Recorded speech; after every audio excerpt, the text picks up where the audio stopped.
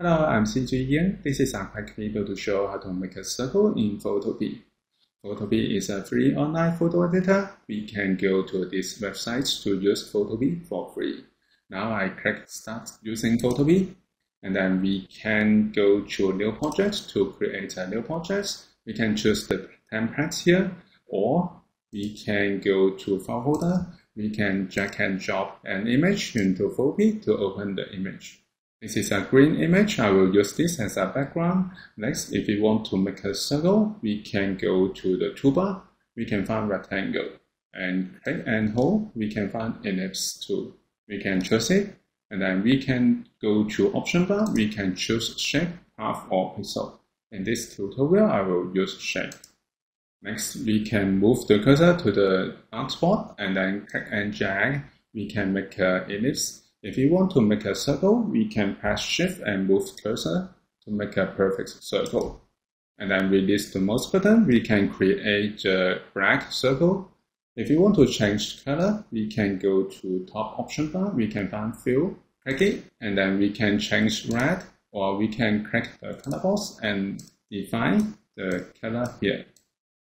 I will pick purple and press OK to apply it. Or we can go to fill, we can change to gradient color, or we can fill with nothing. I will keep it in fill with nothing, and then we can add stroke. For example, we can choose the color first. We can pick white, and then we can increase the thickness. For example, we can type 10 pixel, or we can and drag to increase the thickness. Also, we can change the stroke style. For example, we can use solid stroke or dash stroke or dotted stroke. I will keep it in solid stroke and then I go back to fill to fill with the magenta color.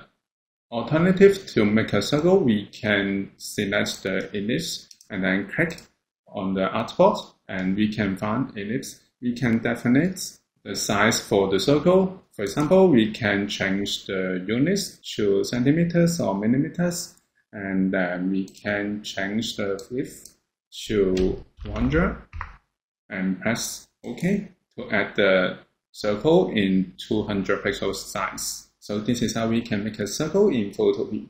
Thank you for watching this video. Hope this helped.